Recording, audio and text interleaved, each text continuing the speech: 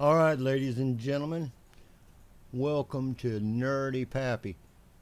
I had a simple request that asked how to load set of trailers into they said ATS Studio but uh, since that one is defunct I choose to use Mod Studio 2 my version is 2020.07 so yours may vary. In order to load a mod let's say you've created a skin for these trailers and you want to incorporate that skin onto your trailer it's really very simple. You open up mod studio 2 click on vehicles. The fourth button from the left says load mod from load vehicle from mod or you can load it from an extracted folder. So we're going to load it from a mod. And I've downloaded the East Super Train ownable from ATS mod updates I believe is the name of the Facebook group it's the East Super Train.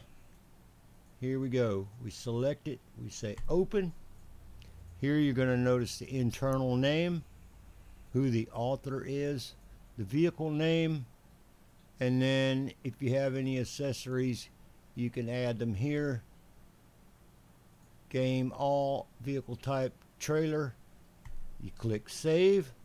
You're going to save it to your user vehicles as an XML file. Now you've got the XML in there. So when you go to create a new project go to ATS got your manifest and all that.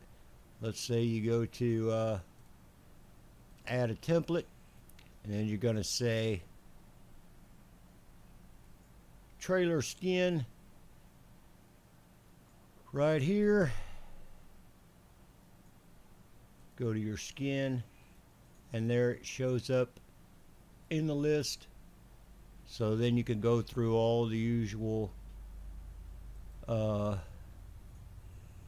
adding the image for your trailer so it puts the skin on that trailer. Alright that was just a quick run through.